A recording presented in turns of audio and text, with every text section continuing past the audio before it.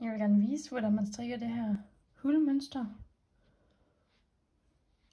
Og min første pinde her, det er pinden, den første pinde i hulmønstret, som er fra retsiden. Så man kan gentage med de her retmasker, og vrangsiden er den her. Så den første pinde er fra retsiden, og her skal alle maskerne strikkes ret.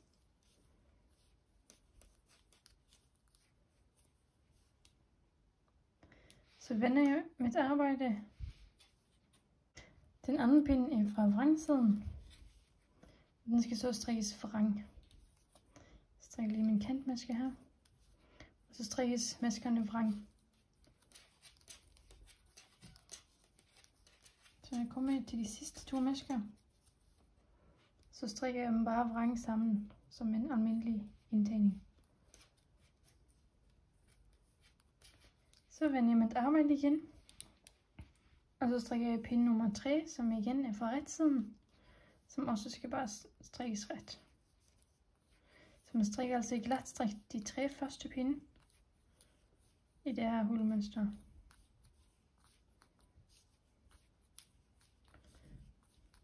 Det er egentlig først tre pinde med glatstrik, og så tre pinde, hvor man laver det her, de her huller. Så nu på min vrangside, min fjerde pinde i mønstret, så skal alle maskerne strikkes ret. Så de skal strikkes ret her på vrangsiden. Altså ikke vrang, men ret. Sådan her. Så har man fået sådan en, en vrang pin her. Efter det glat strikket stykke her med de tre, de tre pinde i glat det kan man nemlig tælle ved, at man har den forrige vrang maske her. Og så er der en, to, tre masker ret. Så det er de tre pinde, vi har strikket ret. 1, 2, 3. Så har jeg strikket en pinde vrang. Og så er vi på pinde 5, som er fra ret siden, hvor vi skal lave de her huller. Og de laves ved at lave et omslag om pinden. Så jeg tager min højre strikpind bag om tråden, sådan her, så at det lægges et omslag på pinden. Og så strikker jeg to masker ret sammen.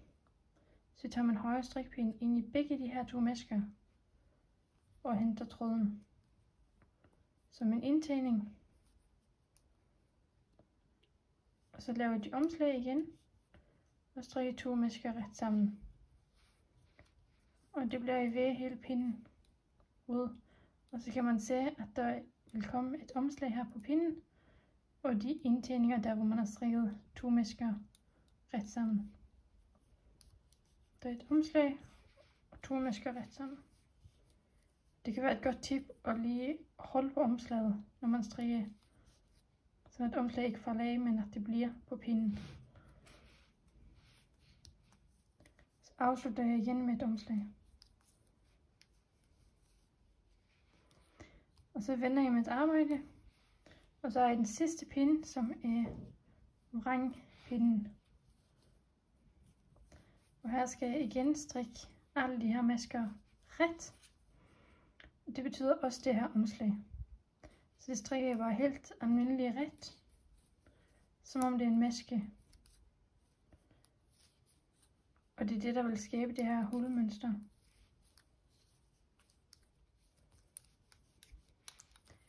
Sådan her.